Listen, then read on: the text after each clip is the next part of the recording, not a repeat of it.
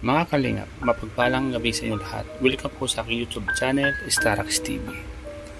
Mga kalingap, ako po'y nalulungkot sa mga nangyari sa ating mga kapatid.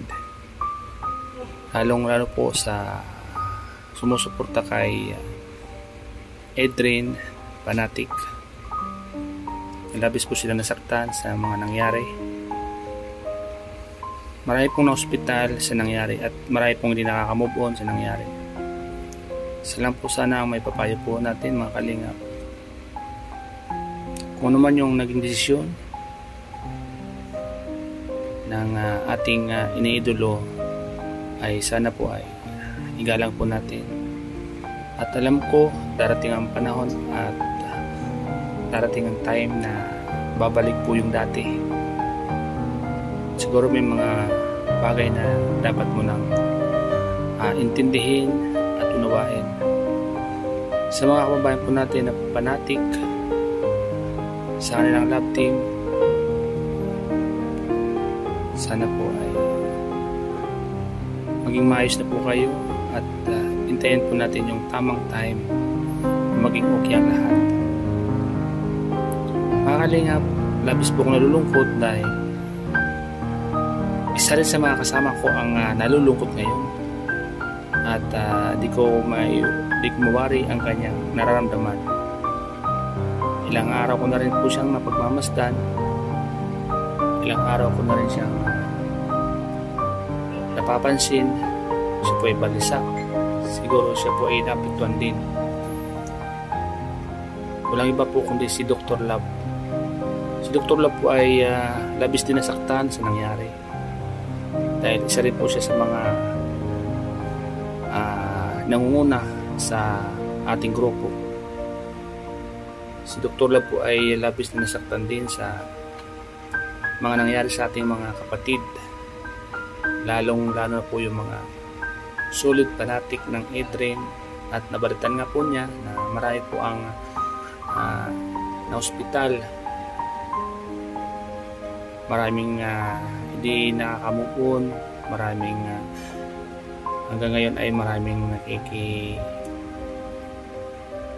sasaktan sa nangyari.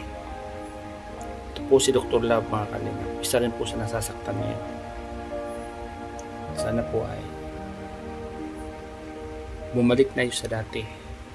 At uh, bumalik na yung uh, inyong sinusuportahan at para matapos na po at maging ayos na po maging ayos kay lahat mga kalingap tungayin po natin ang kabuong vlog na ito ngayong gabi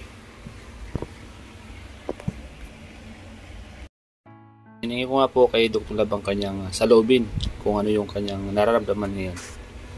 Uh, ang sabi po ni Dr. Lab ay siya po din ay nasasaktan sa nangyari. At uh, isa din po siya sa mga nagdadalamati. Uh, kahit kami din po ang uh, narito ay uh, naghintay din po kami. Sana po ay maging mais na lahat mga kalib. Sa mga kapatid nating uh, mga Adrian na uh, fanatic at Adrian na worldwide community, sana po ay uh, maging mais po ay lahat at sana po ay maging uh, uh, okay na po ang lahat sa inyo alam ko po darating ang panahon ay babalik po sa normal yung dati. Pinapalangin, pinapanalangin ko po na sana ang lahat ay maging normal at maging okay na po mga kalingap. Panalangin ko po na sana ay maging maayos ang ating mga kababayan hanggang ngayon ay nagdadalamati sa nangyari. Mga kalingap, hanggang dito lang po ang ating vlog. Panorin po natin at intindihin. Unawain mga bagay-bagay. Salamat po and God bless. Tulad mo, Star Rock TV Maglilinga para sa inyo Lagi nandito basta para sa iyo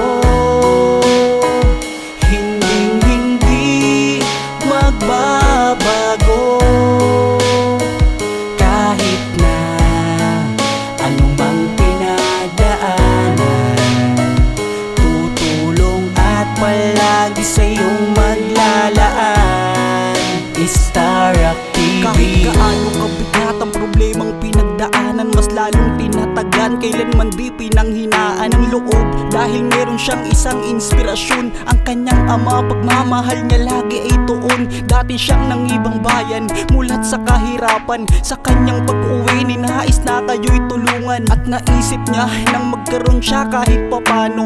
Ninais niyang tumulong sa hirap ng mga tao. May mabuti na puso para sa ating kababayan. Dahil danas niya ang hirap kung paano mahirapan. Nagngangalang istarak na may mabuting kalooban. Huwag tigil at likain mo, huwag kang panghihinaan. Kos palagi lang nakamasid yung nasa itaasa Na panatilihin ka lagi niya lang na malakas. At nandito lamang din kami basta para sa'yo. Maraming nagmamahal dahil sa pinakita mo. Lagi nandito basta para sa'yo